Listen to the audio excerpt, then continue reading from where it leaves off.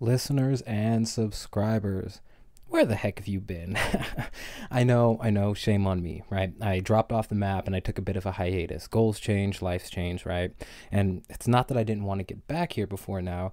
I'm just in much need for system upgrades. And now, because of this pandemic, my wife is working from home, so changes would be made to production schedules regardless, all right? But at least for now, I'm back in a limited capacity, mind you, but back nonetheless. Anyway, I just thought with everything going on that I'd highlight some of the things I feel deserve a little bit more attention. I think that they've been neglected because the future of our country is more important than any of the COVIDiots' feelings on this pandemic. And that's what it is. But let's face it, if you don't care about rights, freedoms, uh, rationality, and logic, this content is likely not for you. Because if you think safety trumps civil liberties, uh, this content just isn't for you, okay? Because the tragedy isn't just that people are dying, it's that we're letting our freedoms die alongside with them, okay? That's the real tragedy. People, they seem to have no appreciation for the implications or even hypothetical implications of how these catalyzing scenarios seem to unfold, okay? And these scenarios, they always generate shockwaves, whether it be uh, death, rarely precedented angst and uncertainty, threats to rights and freedoms. Okay, it's our job and has always been our job as a people to ensure that these shock waves, okay, are wisely and responsibly mitigated. It was owed to the American people uh, an approach that balanced civil liberties with public safety, the long term economic impacts with the short term casualties, and to maintain diligence against those who would seek crisis as any opportunity for corruption or tyranny. Okay, and if we don't think that that exists today, we've deluded ourselves. We, we've absolutely deluded ourselves. So this was owed to the people through enforcement by the people, but instead we panicked. Okay, we gave away our hand. We revealed our hand and opted to show the enemy that we're willing to simply acquiesce and await the next recommendation from the CDC or task force, right? The actor Trump goes up there every day and, you know, makes his recommendations. And these recommendations are made force by, you know, not just agents of the state, but public ridicule and peer pressure. That's where the the crux of this comes from. I mean, ultimately, there's more civilians than there is law enforcement, and it's the sheeple keeping sheep in line. We don't even need the sheepdog anymore. I've made the point before.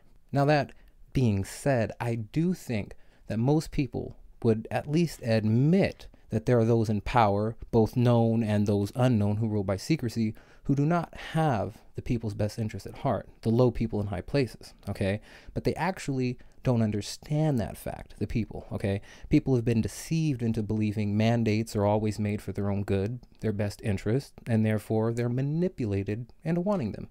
And, you know, myself, I'm an advocate for freedom. Far be it from me to make a stink about what the people want. But if this is what the people want, does this bode well for future prospects, especially in a country like America? Okay, because regardless of what we think of the coronavirus, this pandemic has affected more people on a scale that few, if any, have ever seen or experienced. Okay, we've absolutely set course on a trajectory of a new normal, and that should go without saying because here we are, still in the midst of this de facto medical martial law. So these are indeed unprecedented times. Yes, that's what everybody keeps saying, right? Unprecedented times, unprecedented times. But that's because our rights, liberties, economy, and spirit of freedom are being eroded in unprecedented ways, okay? And that, my friends, is far more dangerous than any virus. See, I think we can choose to be worried and panicked, or we can choose to be wise and balanced. And we have not demonstrated the latter. Our response to this challenge has not balance civil liberties and public health, like I said, and that's what the American people deserved, okay? To be crowd shamed, uh, made prisoners in our own home, endure lockdowns, curfews, National Guards checkpoints, even permission slips to go to work. I had a permission slip to go to work. We're tracking and surveilling citizens. Google and Apple just got together, right?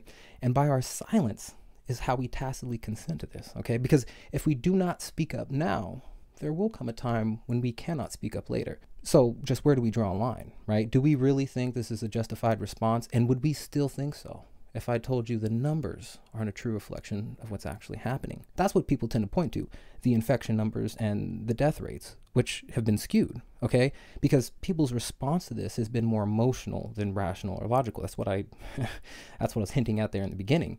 And if the infection numbers and death rates are a hinge for that, then there's something you might need to know. Okay. Now, I know for the vast majority of people, if they don't care about the freedoms and everything I said and I just outlined, uh, this isn't going to be for them.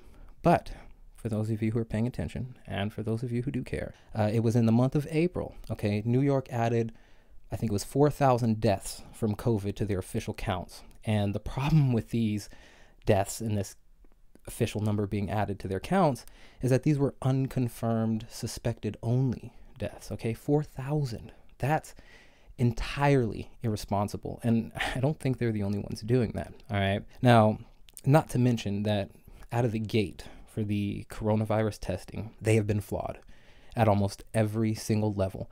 And that is not me saying that. It's the experts, it's the scientists, it's the media, you know, your Washington Post and the uh, scientists initially involved with this debacle. Because if you paid attention, initially COVID testing had rendered false positive and negative results, but due to the pressure for testing, these kits continued to be rolled out anyway, which completely invalidates a huge portion of the initial test results for uh, was it the U.S., Spain, the U.K., and others. Uh, Britain was another one.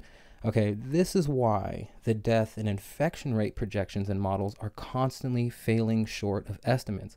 That's because they're based on the inaccurate counts. We had an influx of inaccurate positives and a, a slew of inaccurate negatives, so we really don't have a hold on what the numbers actually look like. They're likely far less than what's being talked about. We accuse China of underreporting their cases. By this merit alone, we're probably overreporting okay? And guess what? There's still problems with these testings, okay? Now, most people heard about the 17 month year old kid that tested positive for COVID, right? But how many of you heard that that same child tested negative at a second lab? or the poor guy who tested negative and then ended up testing positive only for it to be too late. All right. And these are not outliers. So, again, by the merit of faulty, uh, faulty testing alone, we have artificially high COVID numbers, both sick and dead, period. But that doesn't change that people are indeed dying from the virus, right? And that is a tragedy. But again, it's not the only tragedy unfolded by this bug. So, if we look at the number of infected around the world. It's reaching two and a half, three million, okay, which again is, is not a real number, but there's already roughly 25 million people in the US out of work. That's more people out of work in the US alone than there are sick or dead from COVID around the world. Just you know, take a minute to think about that. And that's just the economic impact of this in one country. Okay, there's still the loss of rights and freedoms, the pacification of the people, and draconian authoritarian measures being rolled out like never before. Indeed, unprecedented times. And if you think governments are justified in doing anything, well, then, my friends, enjoy the New World Order.